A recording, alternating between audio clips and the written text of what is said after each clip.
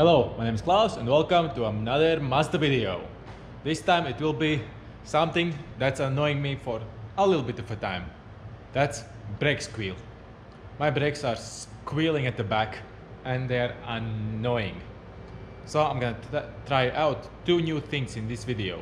Firstly to fix the squeal that's on that side, in the back, and I'm gonna try a new grease. This is what you usually use. This, this is copper grease, multi-purpose. It's meant for brake discs to, to get the squeals off or away. Not anymore, because it doesn't work. Now I'm gonna try ceramic brake grease. Yeah, brake. I, I thought it said brake disc. Brake grease. I'm gonna try this out. And I bought the wind in tool for, for the brake piston that you cannot push back in, but you have to wind it back in. I bought that one and the first time I'll ever use it. Now, let's try this, how the ceramic brake grease works on the pads, pins and everything else. I'm gonna use that in this video. Tell me in the comments below which one you prefer. The copper one or the ceramic one? Or you use something else? Who knows? This is my first time trying it, so I'm gonna try it. Let's go and I'll show you the tools I'm gonna use. And now the tools you're gonna need is 14 millimeter, 14 millimeter socket, 14 millimeter wrench. Now, as you'll be taking off the wheel, jack, jack stands, garage creeper. Let's start. Obviously gloves because you'll be working on, on brakes, torque wrench. This caliper tool set, this is what pushes in back the piston at the rear. You don't have a piston that you can push like that normally. You have to wind it back in. This is a set to do exactly that. Now I'll have a light obviously. WD-40 specialist penetrant. Lock threads this is very high temperature paint. Metallic black. Ceramic brake grease. Copper anti-seize and some acetone. This I will use an impact with 21, 17 and this is the lock nut. So this is a pneumatic or pneumatic uh, angle grinder. I'll, I'll plug the hose and clean everything off. Metal brush, more brushes, more brushes, attaches to the drill. And this is where I will paint on. I'll put this in the vise, paint, do my stuff and do everything else. Some gloves obviously, some blue paper and some water for me. Because more you talk, the thirstier you get. We will do this wheel today. As you can see how it looks now. See how it looks now. How it's brown, rusty, and it's making squealing noises. And this is how it should look like after you're after we are done.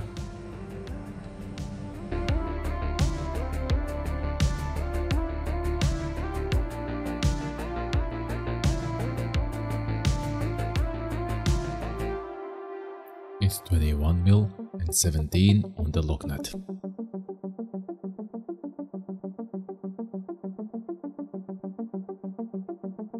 So right now you can see this is the situation how it looks like. The disc isn't too bad, but it's all, as you can see, it's all rusty, it's all just yucky looking. Yeah, that's that's bad, that's pretty bad. Now here's a 14, here's a 14. And deeper in, should be a 14 here and a 14 here. So all the caliper would come off. So we're gonna spray this caliper this this will be on the car. Once we spray this will be this will spray on, on the vice bench on the in in the vice. So penetrant here here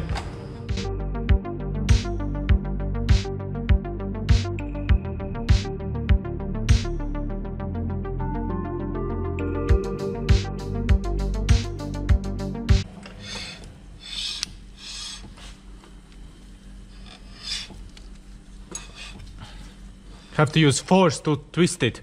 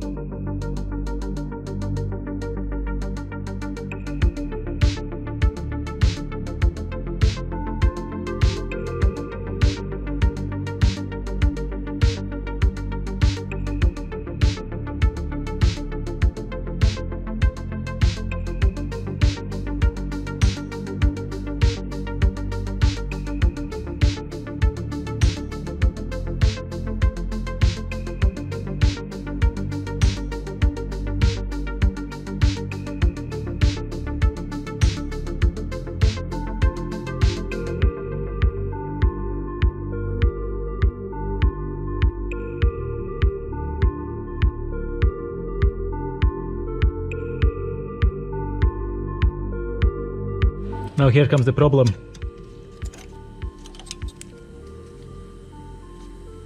This shouldn't be in my hand.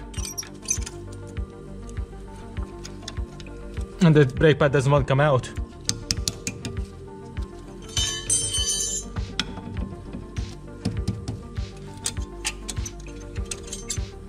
Oh, no wonder why it's scratching. All of these are off.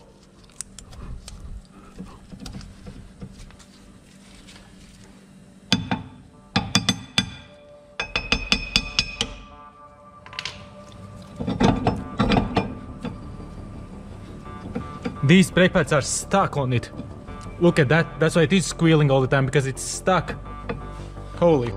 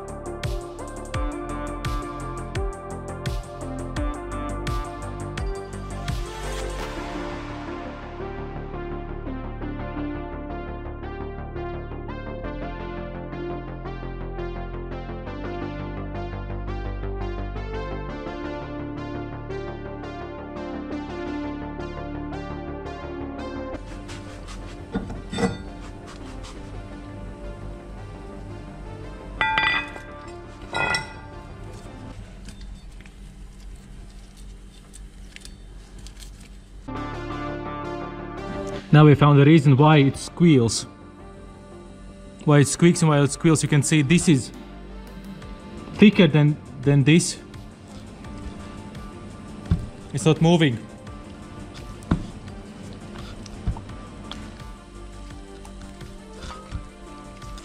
There needs to be grease inside.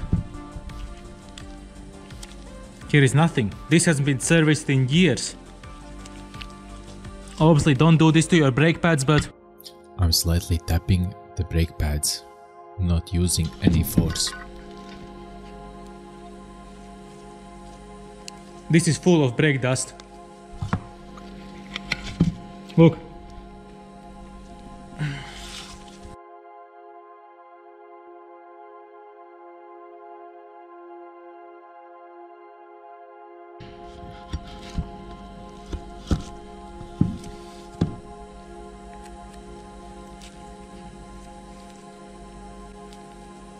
Ooh, look at all the rustiness. These clips should be coming out. These clips should be popping off, but they aren't. So everything is stuck. Everything is stuck. Obviously, all of you are saying, don't use this again. This, you need to replace with new parts. Sorry, I cannot afford new parts. So we have to rebuild what we have.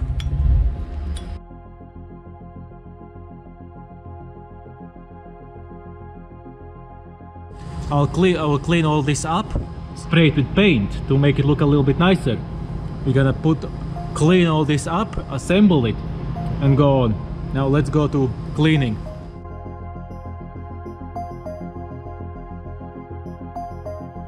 I'm wearing an industrial mask, which protects me from all the dust.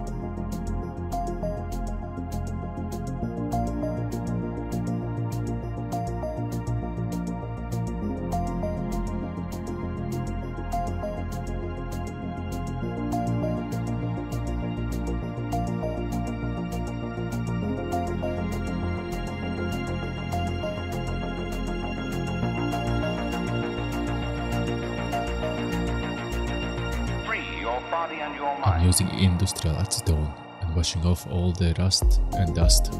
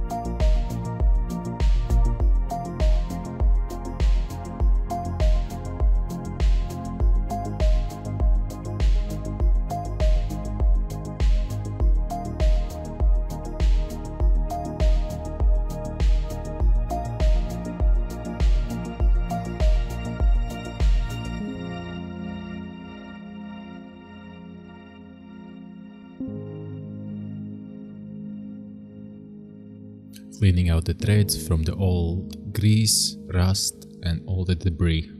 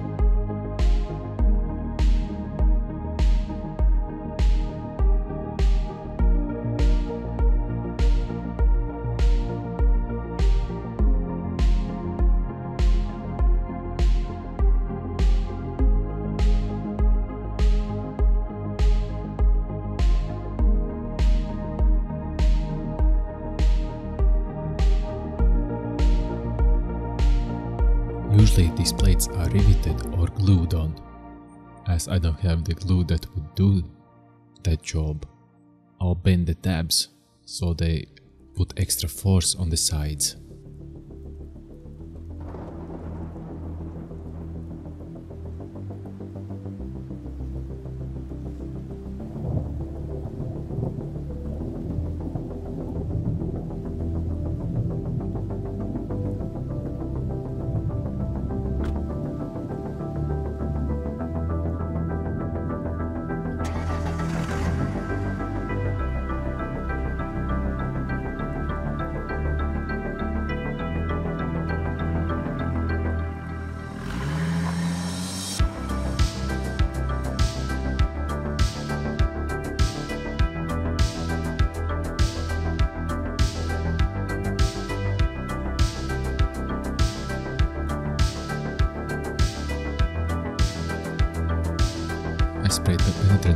Clean out all the old grease and I'll put in white new one.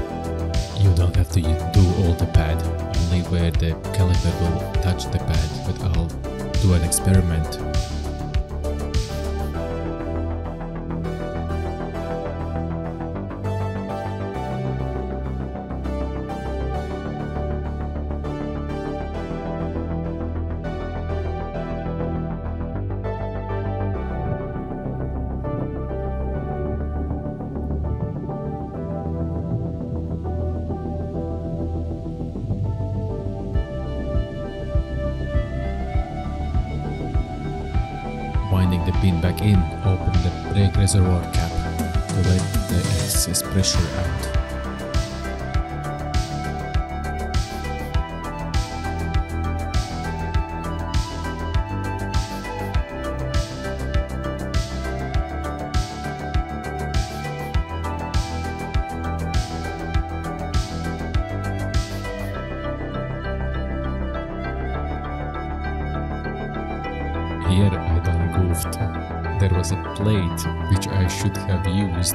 Make my job easier. But I understood it after I finished the job and finished recording that that plate is used to press against the other side. you learn something new every day.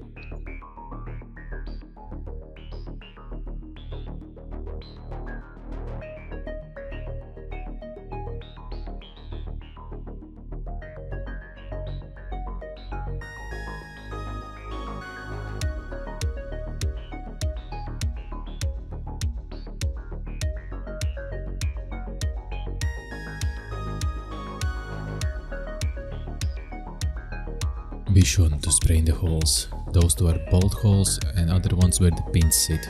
You do not want any paint there.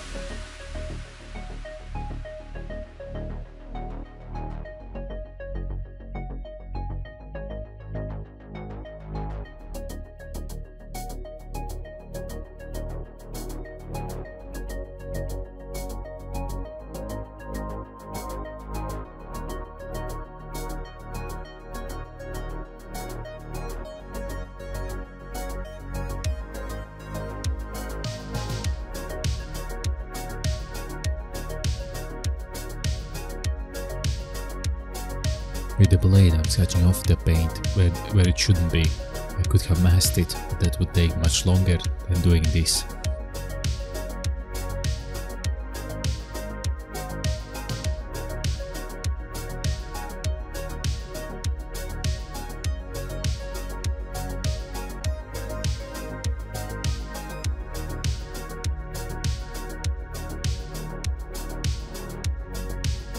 Put some threadlock on the bracket bolts.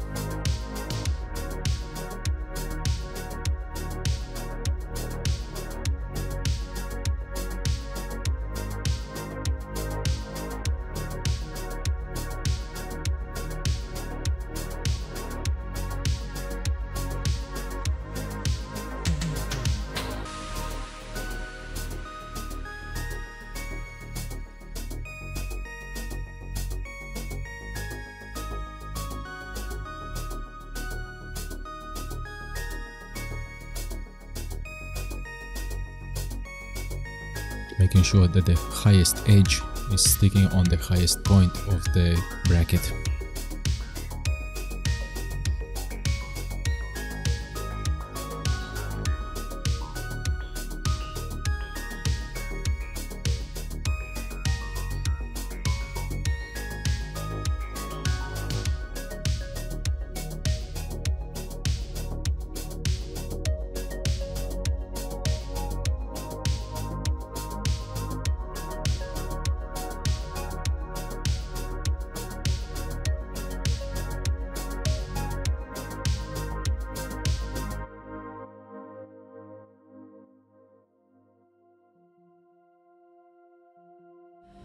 Now then, let's put the pads back in and put this back on. Now, you can see I did a little bit of grease on these. Usually the pin goes to the back, but this time it's other way around. That's weird, but whatever. Let's install them. As simple as uh, align this to this and the bottom to bottom and push it in. Just push till the end. Let's do it at the back and see if, if they slide properly. When editing this, I noticed that I'm missing hardware. I'm missing two pins that push out the pads. Come on, get in. There you go. That's more like it. They're moving. As you can see, back then it was stuck. Okay, let's install the caliper. Dust boots.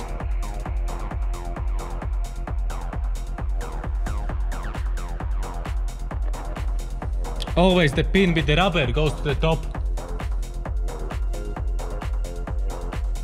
Can find it, okay, let's put the bottom pin in.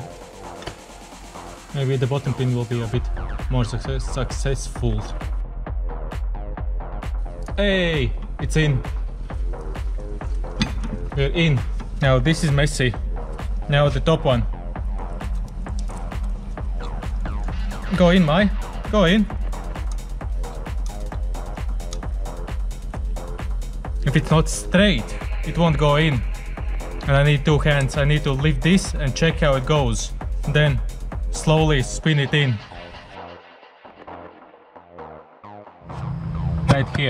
Have to pe peel this back to check if the rubber is go gone through. Because sometimes the rubber is a little bit tricky and it likes to stick there. So you, so you need to spin this, spin and push it in slowly and see if the rubber doesn't make a lip over. But once it's in, it will go nice and smoothly. So see, now we can tighten the bolts and check if we can freely spin. This freely spins.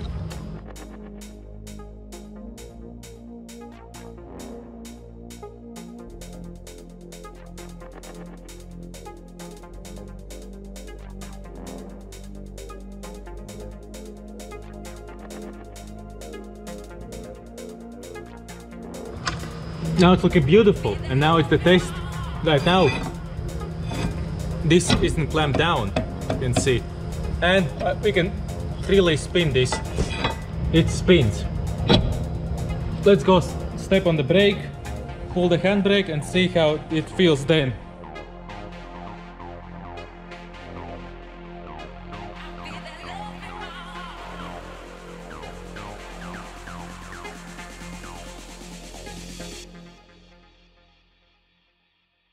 Okay. It's down, remember. Alright, then let's try it. How it spins now. Ooh, much better. Wow. That is much better. It still rubs a bit. But, so this did quite a lot of improvements. So I'll put the wheel back and we go for a ride and listen out for any squeals.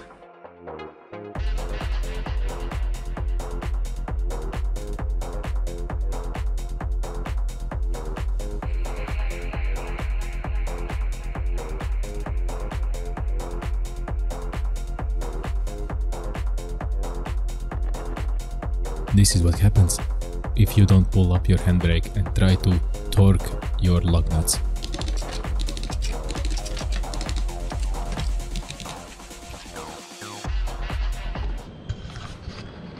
And that's it. And that's how you do a brake caliper, paint, brake bracket and caliper, paint and rebuild. rebuild. I should replace all those parts. I should. Sadly, it's not in the budget. Hope this video was entertaining or at least somehow informative. I'll see you in the next one. Bye bye.